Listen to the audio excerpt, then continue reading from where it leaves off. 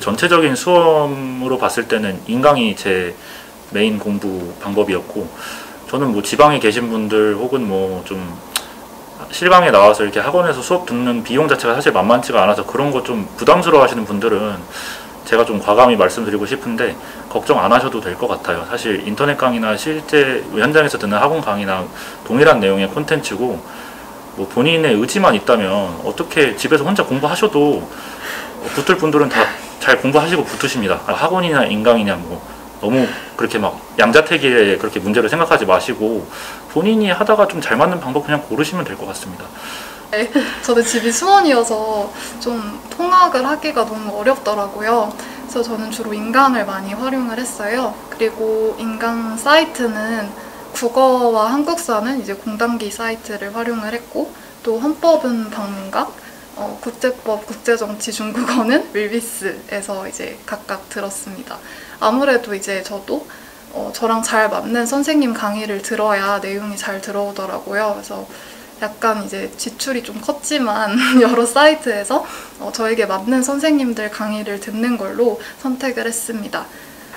저는 제가 의지가 되게 없는 편이라고 생각을 했고 눈앞에 경쟁자가 있어야지 공부를 좀 더 열심히 하는 성격이어서 일부러 학원을 등록을 했고요. 또 저는 좀 선생님을 크게 연연해야 하지 않는 스타일이고 모든 선생님의 방식이 그렇게 나쁘지 않았거든요. 그래서 이제 과목별로 설정을 했어요. 국제정치 같은 거는 좀 더 방론적인 것, 강론적인 것들, 그리고 지역적인 것들이 좀 중요하니까 그런 것들은 세세하게 더 체크를 하는 편이었고 헌법이나 이런 것들은 꼭 나오는 것만 찝어주시는 선생님들 위주로 해서 성향별로 파악을 했고 그래서 저는 좀 효율을 추구했던 것 같아요. 그렇지만 이제 국제정치나 국제법은 좀 어려운 과목이고 굉장히 범위가 넓게 나오고 있으니까 좀 더 그쪽에 투자를 많이 했던 것 같고 그래서 저는 교재를 추천한다기보다는 기출문제집을 진짜 무한 반복하는 게 진짜 중요한 것 같아요.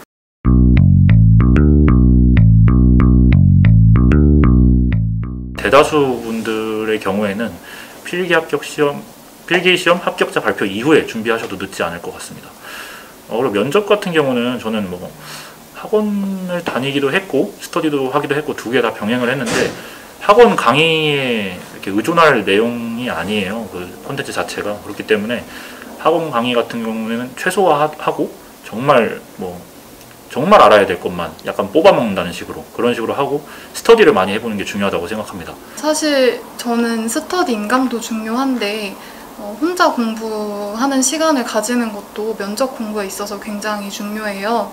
왜냐하면 사실 이제 면접이 외모형사직 직렬에 국한돼서 나오는 게 아니라 뭐 국가직 7급 이제 전반적인 직렬에 대해서 또 전반적인 직렬 분들 대상으로 이제 시험이 아무래도 나오기 때문에 좀 현재 정부의 전반적인 정책을 알고 있는 게 중요해요. 어, 그래서 이제 어, 인터넷 강의 선생님께서도 그뭐 9시 뉴스를 매일 챙겨봐라 뭐 이런 얘기를 많이 해주셨어요. 그래서 저도 면접 준비를 시작하면서 뉴스를 매일 보기 시작을 했는데요. 뉴스를 보면 이제 현재 정부, 우리나라 정부가 뭐 어떤 정책에 주안점을 맞춰서 지금 뭐 어떤 정책을 시행하고 있는지 또는 계획하고 있는지를 알 수 있고요. 또 그런 뉴스에서 어 제가 면접에서 활용할 만한 어떤 정, 정책 도구를 뽑아내는 게 중요하다고 생각을 해요. 휴식을 휴식 기간을 충분히 가지시고 이제 결과가 나오시면 준비를 하는 것도 좋은 생각이라고 생각합니다. 또 저는 음, 학원과 스터디를 병행했던 것 같은데 어떻게 면접이 흘러가는가 그리고 면접에서 어떤 것이 중요한, 중요한가 이 정도만 익히고 이제 실전 연습을 하는 게 더 중요하다고 생각을 합니다.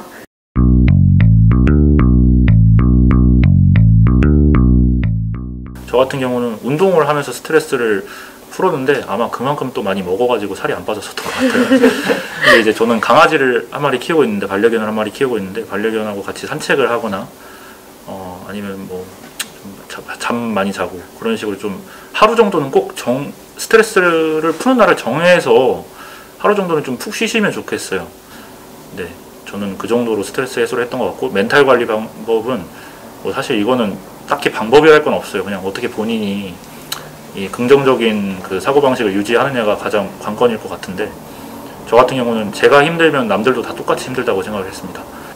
어, 제 스트레스 관리 방법은 어, 저도 이제 다른 동기들과 비슷한데요. 어, 일주일에 하루 정도는 꼭 쉬는 날을 뒀어요. 어, 저는 이제 뭐 일요일을 주로 쉬는 날로 정해놓고 어, 토요일 밤까지 열심히 공부를 하면 괜히 보상 심리 같은 게 생겨요. 그래서 또 이제 한편으로는 일요일을 쉬는 날로 정해두면 일요일 전까지는 이제 내가 정해두, 정해둔 목표량을 다 끝내야지 이제 이런 마음이 들기도 하고 또 이제 쉬면서 많이 refresh 되는 게 있거든요. 저는 수험 기간 도중에 음식을 좀 많이 못 먹어서 더 예민해져 있었던 것 같거든요. 그래서 조금 살기 위해서 수영 같은 것도 좀 배우고 자전거를 탄다든지 이런 식으로 체력을 기를 겸 정신 건강도 좀 확보할 겸 해서 운동을 좀 열심히 했던 것 같고 또 저는 주변에 이제 저처럼 공부를 하는 친구들이 많았어요. 또 특히 학원을 다녔다 보니까 같은 처지에 있는 친구들이 많았거든요. 그래서 그 친구들이랑 신세 한탄하면서 수다 떨면서 해소하기도 하고 보통 공부를 하다 보면 하루 종일 아무 말도 안 하는 때도 있거든요. 그런 때 이제 조금 답답한 마음이 생기면 친구들과 통화를 하거나 신세 한탄 같이 하면서 조금 더 활기를 찾았던 것 같습니다.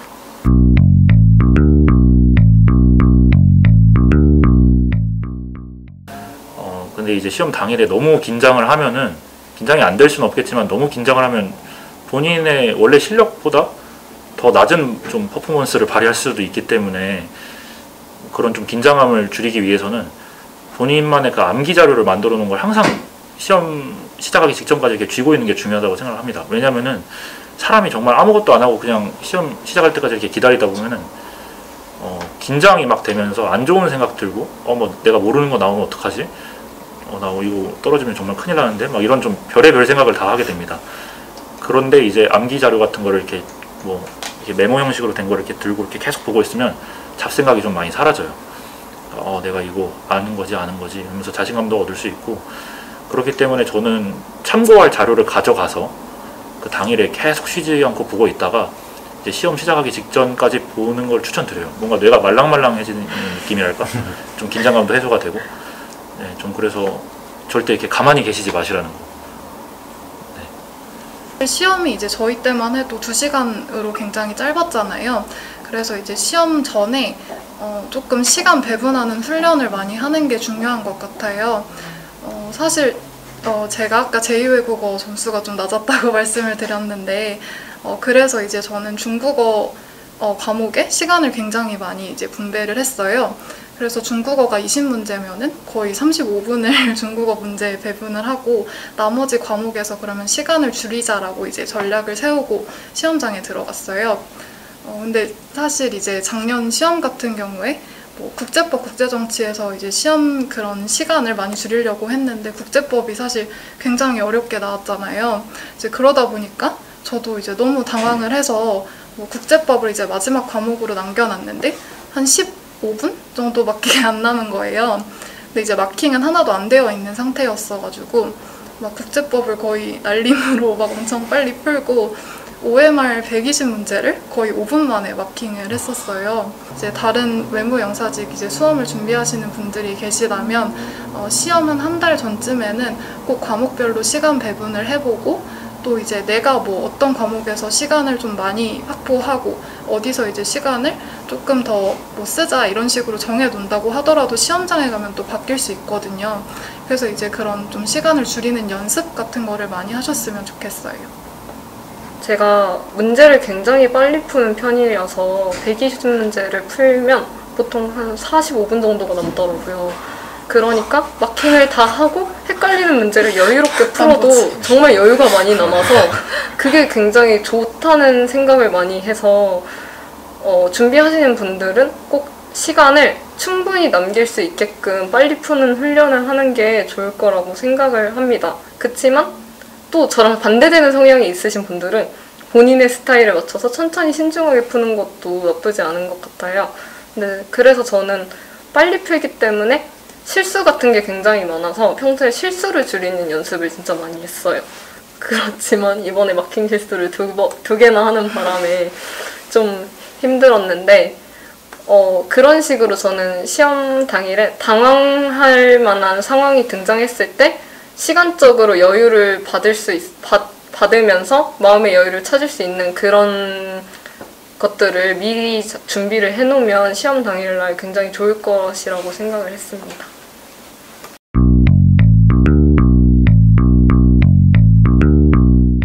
분명히 그 처음에 결심이 있을 겁니다.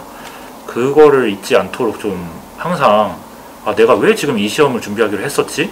라는 생각을 많이 하시는 게 좋다고 생각을 해요.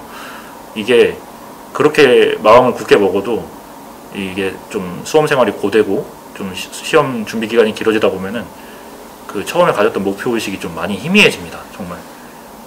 뭐 안 그러실 것 같다고 뭐 자신하는 분 계실 것 같은데 저도 그랬어요 처음에는 진짜 나 이거 못하면 죽어야지라고 생각했는데 이거 못한다고 죽을 순 없잖아 이렇게 생각이 바뀐단 말이에요 그렇기 때문에 그 초심을 뭐 희미해질 수 없는 건 아니지만 그래도 나는 이거 꼭 해야겠다 라는 생각을 가지고 준비를 하시면 좋겠습니다 네, 저는 어, 외무형사직 시험을 지금 이미 준, 준비하고 계신 분이라면 조금 초조하고 불안한 마음이 클 것 같아요.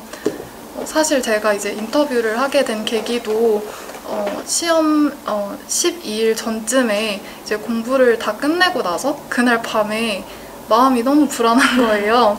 시험은 이제 점점 다가오고 있는데 나는 준비해 놓은 것도 없는 것 같고 또 이제 그 전에 합격 수기 같은 걸 읽어보면 막 합격자분들은 뭐 몇십 회독씩 하고 들어가시고 좀 그랬다는 얘기가 많았던 것 같아서 저는 이제 아 난 준비가 안 됐는데 너무 마음도 불안하다 막 이런 식으로 계속 생각을 하고 있었어요. 근데 이제 그때 이제 외무 외교부 유튜브에서 외무영사직 합격자분들 인터뷰를 봤었는데 그때 이제 제가 댓글을 이제 뭐 시험 10일 정도 남았는데 아, 남았네요. 어, 저도 빨리 뭐 외교부에 입부를 해서 멋진 선배님들의 후배가 되었으면 좋겠습니다. 이제 이런 식으로 댓글을 달았어요. 그리고 사실 그 댓글을 쓰면서도 굉장히 좀 걱정되는 마음만 한가득이었는데 어, 시험을 준비하시는 분들도 어, 다 같은 마음이실 거라고 생각을 하고요. 또 이제 지금 주변에 합격한 동기들 얘기나 다른 합격자분들의 얘기를 들어봐도 시험 전에 완벽히 준비되어 있는 상태로 들어가신 분은 없는 것 같아요. 그래서 조금 미래에 대해 불확실하고 좀, 좀 많이 걱정되고 그런 초조한 마음이 힘들더라도 어쨌든 본인이 정하신 목표가 있으면 주변 시선이나 뭐 주변 환경에 흔들리지 않고 꾸준히 계속해서 앞으로 나아가는 것이 가장 중요하다고 생각합니다. 저는 한 가지는 정말 확실히 당부드리고 싶은 건 아, 나는 이번에 될 생각 없어. 3년 정도 공부할 거야. 5년 정도 공부할 거야. 이런 마인드로 공부를 하시는 건 정말 비추천드립니다. 항상 이번에 된다는 생각으로 공부를 열심히 하셔도 될까 말까 하는 시험이라고 생각을 해요. 특히 어느 정도 수준에 차면은 그날의 컨디션과 온 우주의 기운이 다 도와줘야 붙는 시험이라고 생각을 하거든요. 그렇기 때문에 항상 절실한 마인드로 공부를 하시는 것 좀 추천드리고요. 본인이 하는 방법이 가장 맞는 방법이라고 생각을 합니다. 그렇기 때문에 저 사람은 나랑 방법이 다르다고 해서 불안해 하시지 마시고 자기의 방법을 꾸준히 밀고 나가시는 것을 추천드립니다.